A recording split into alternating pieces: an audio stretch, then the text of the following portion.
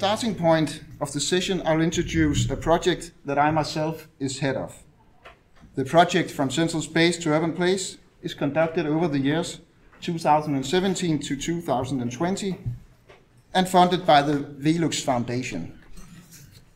The project consists of research as well as mediation and learning elements.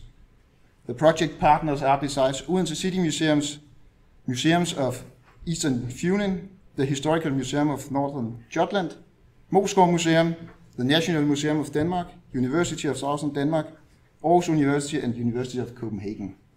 And connected to the project is an advisory board with specialists from the universities of Lund, Oslo, Bergen, Copenhagen and Aarhus.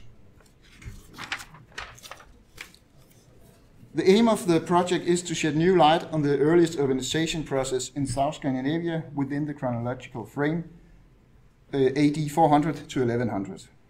The mean set is with the cities Odense in the center of Denmark and Aalborg in the northern Jutland as cases to explore the development from the central spaces of the late Iron Age, defined as concentrations of localizations characterized by wealth and functions like trade, crafts, cult, and defense, to the urban places of the Middle Ages, where the structures of power are concentrated at one spot.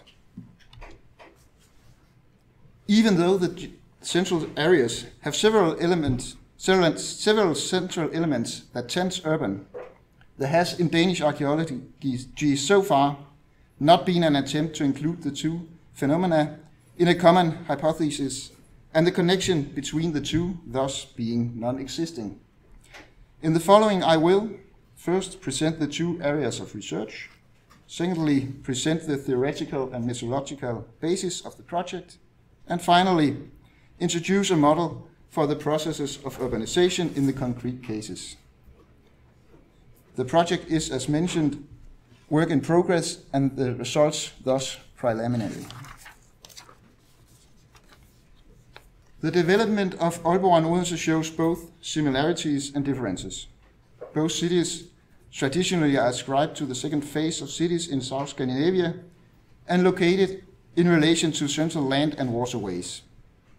A series of archaeological excavations and a large contextualized detector material have given a comprehensive empirical background from the period.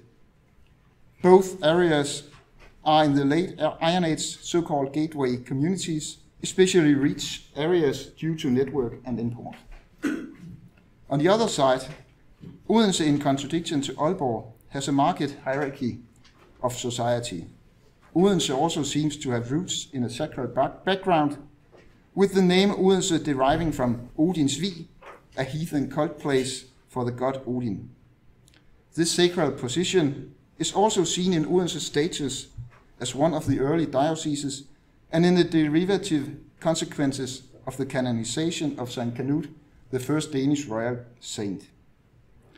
Aalborg has no sacred background and is not an early diocese. Finally, military elements are more common in Odense than in the Aalborg area.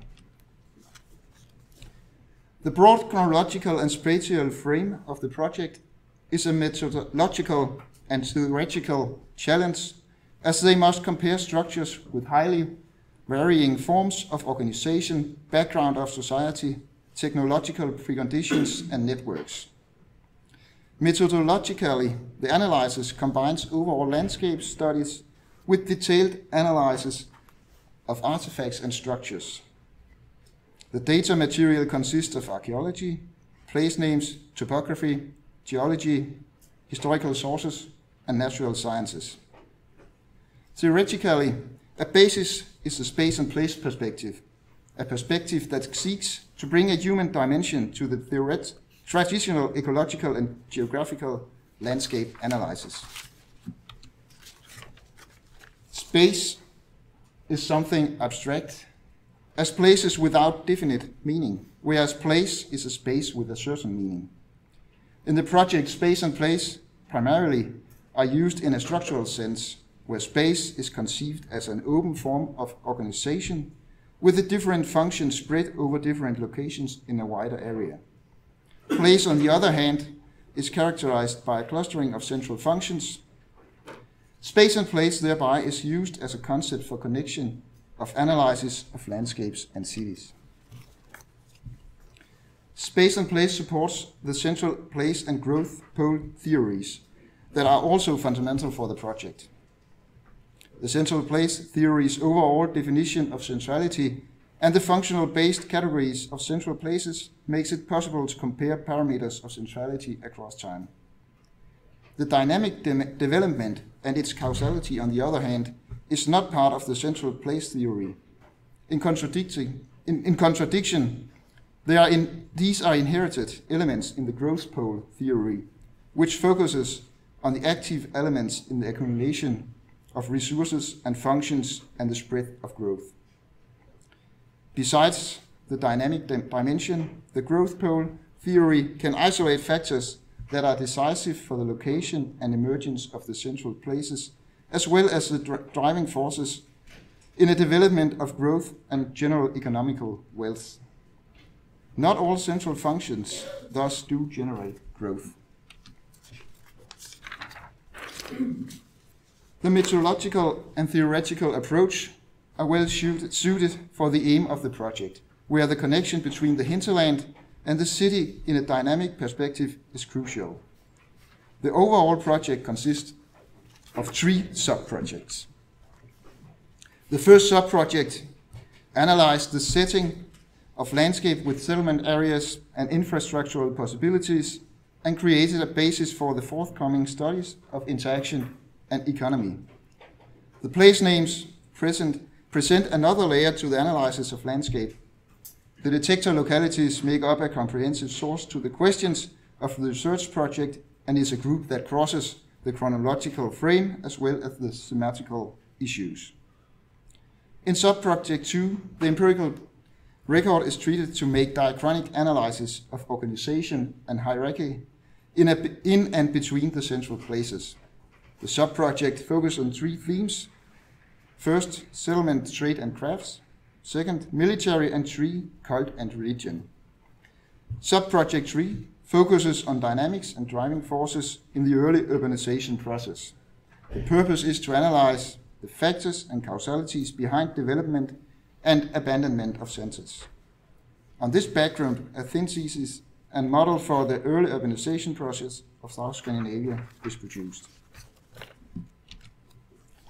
In another project, called The Regions of Odense, conducted by my colleague Mogens Bo Henriksen and myself. The general two-phased urbanization model of Scandinavia, with a phase one with the Emporia, and a second phase with the royally founded medieval cities of the 11th century, is adjusted to a three-phased model. In this model, a middle phase with locally upland founded proto-cities with a bottom-up background is proposed. These proto-cities are founded in the 9th and 10th century and thereby bridging the Emporia and the medieval cities. In Denmark, Odense, but perhaps also Aalborg, Viborg, Aarhus, Horsens, and Næstved could be part of this group. This model and the following points from the project are of relevance for the From Central Space project, where it can be tested on a larger empirical background. The emergence of these proto-towns is to be found in general societal changes and developments. A significant factor is the shift in trading patterns from southerly orientated networks, as expressed in the Emporia, to more local and northerly oriented networks that became increasingly dominant through the Viking Age.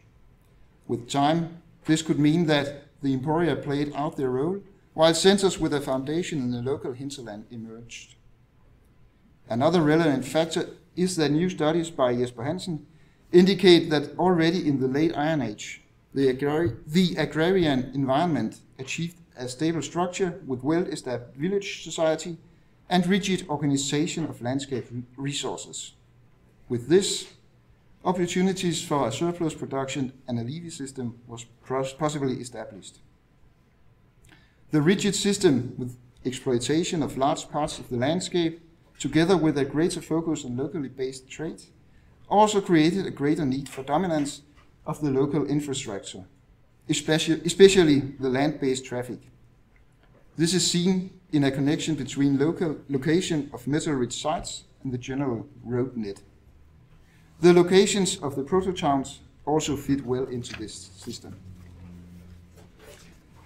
The two projects mentioned are founded in a new perspective on urbanization, where the inclusion of the hinterland, the space, is of utmost importance in relation to the creation of the cities, the places.